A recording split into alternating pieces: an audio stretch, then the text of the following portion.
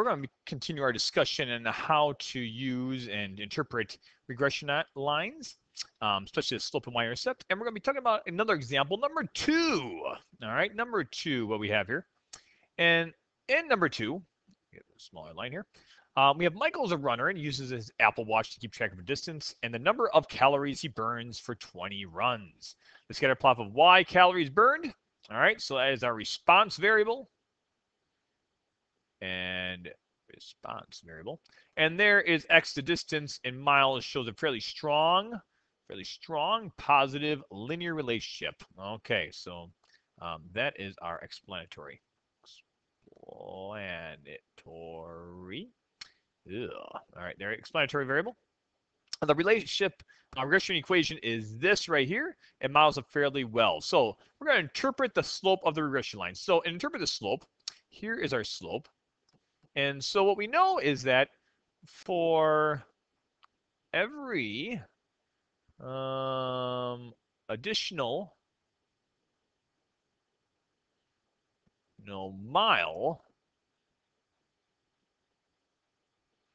okay, um, run, run by Michael. Okay, the predicted Um, calories burned, that's our predicted value right there. Okay, so the response is also our predicted. So we know. Predicted calories, and we're putting this in context, calories burned um, will, now because the slope is positive, will increase, I'm going to put increase by 160 all right, calories. Calories. All right, and that's what we have right there. So for every additional mile run by Michael, the predicted calories burned will increase by 160 calories. Well, that's pretty awesome. So with that, we're going to continue to move on. And we'll say, does the value of y-intercept have any meaning in this context? If so, interpret y-intercept. If not, explain why. Well, if he runs zero all right, so essentially when x equals zero, okay, so essentially he runs um, zero miles. So if Mike runs zero miles, miles, the total calories burned earned is 20. Now, now when we think about this, does that make sense? Um, and a number of calories burned, 20 miles. Well, I guess he's always going to maybe burning some because you just burn calories just by living. So I guess this kind of makes sense. So if Mike runs zero miles, the total calories burned would just be 20 calories. And as you increase the number of miles, that would increase. So I think yes, yes, that makes sense. Um, and so we're going to interpret it this way. So if Mike runs zero miles, the total calories burned is 20 calories. Um, because that's what he would be at rest. Okay. Um, doing that. All right. Now, next thing we're going to do is we're going to predict the number of calories burned if he runs five miles. All right. Five miles.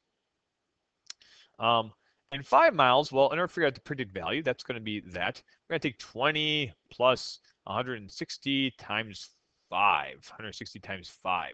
So if you put this in your calculators and you figure this out, probably can maybe do it in your head as well. So you have 160 times 5 plus 20. And we're going to have, he's going to probably burn, according to this model, 120 calories. Okay, and that's our predicted amount. So finally, the next thing we have is calculate and interpret the residual if his Apple Watch said he burned 190 calories for five miles. Well, right here, this is the predicted amount. And if you recall, residuals equal the actual minus the predicted, okay? And so we want to calculate that residual. So our new residual is going to equal, all right, actual, which is 910, minus our predicted, which is 820, 820. Okay, and so what is that difference? 910 minus 820 it's going to be 90 calories. So our residual is 90 calories. Now, what does that mean? Well, what that means is that um, the actual value And so what we have is we want to interpret this. So uh, we know that our actual value, the actual value um, at five miles is 90 calories more than the predicted value.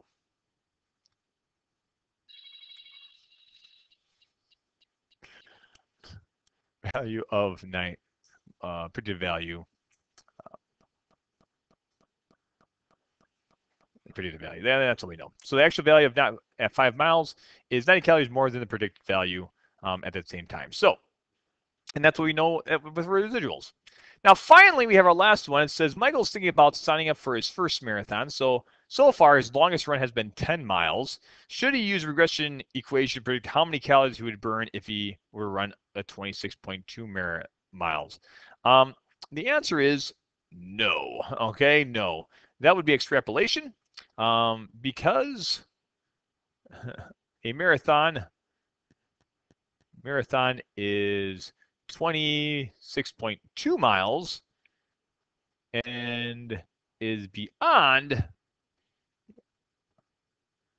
beyond the interval interval of 20 miles miles of the data.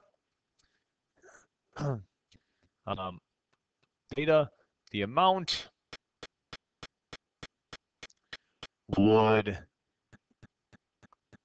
not be um, very accurate. Okay, because um, we're assuming it's just increasing at a linear fashion, and which it may not be.